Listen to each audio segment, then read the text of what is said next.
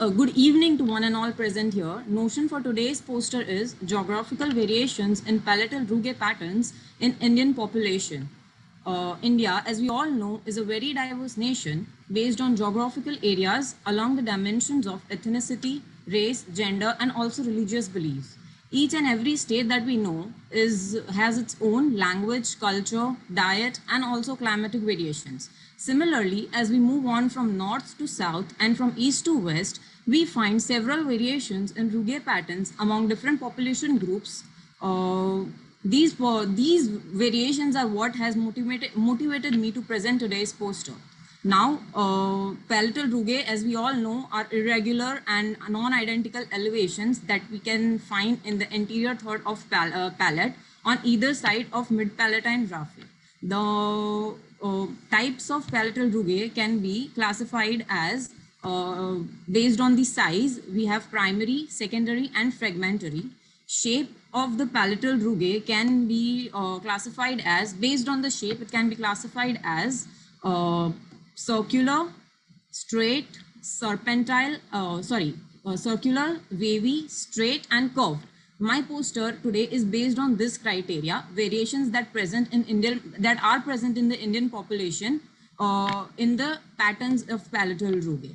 Now we can determine the direction of palatal rugae uh, as reverse, forward, uh, perpendicular, and uh, uh, perpendicular and horizontal. So as we can see here, H is defined by horizontal. Uh, P areas are the perpendicular rugae. Uh, F ones are the forward rugae and the B ones are the backward rugae. Backward are the, are the ones that basically make negative angle with the mid-palatine raphe and the forward movings are the ones that make a positive angle. Unification is also an important term that we should be knowing. Uh, it has been divided into diverging and converging. Now, if the rugae begin from a same origin and then bifurcate transversely, they are considered diverging, whereas uh, if they begin with different origins and are joined on their lateral positions, they are converging. This was the basic detail about the classification and the rugae that we are talking. Next, I would like to talk about the coming to the main aspect of the presentation. There was data that has been collected from several research articles that have been published in standardized journals and have been compiled for this poster. What could be interpreted was that these patterns varied significantly in major population groups. According to the researchers, we could infer that the North in the north, straight pattern was more commonly seen, whereas in the south, wavy would, would predominate. This has been inferred from an article that was published by uh, Sankaran Samugam et al. comparing populations of northern and southern India. Among the states of western coast, we can see that there are notable differences in the rugae pattern in the states of Gujarat, Maharashtra and Karnataka, whereas towards the central part of the India, straight patterns dominated. Now, uh, I would like to mention a few studies that have been done uh, regarding the uh, palatal rugae and their analysis. Dr. J.P. Pillai et al. has published an article in the Journal of Forensic Dental Sciences comparing qualitative and quantitative aspects of rugae in Gujarati population. Another study done by Ashutosh Parmanaik et al. in Bengali population shows us the prevalence of wavy patterns followed by curved and straight. Amit Bhatnal et al. carried on a study of palatal rugae patterns in five different states of India, namely Maharashtra, Karnataka, Madhya Pradesh, Tamil Nadu, and Andhra Pradesh.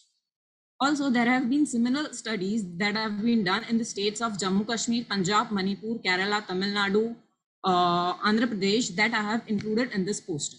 Now, the main purpose of this poster was to signify that there is a geographical discrepancy that exists in palatal rugae we need more such studies and samples that will validate the role of uh, palatal rugae in differentiating population and will test the hypothesis that variation does, take, does exist in the rugae.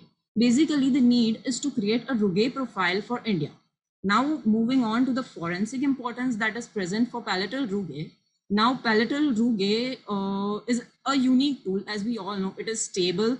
It is unique in every individual and we can also use it for identification in post-mortem provided there are ante-mortem records present for the same.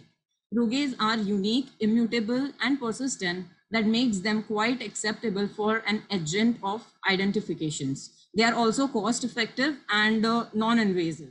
The need of the hour is to have standardized multicentric and multi-regional studies under one domain that will provide a shift for research in any domain of uh, forensic odontology.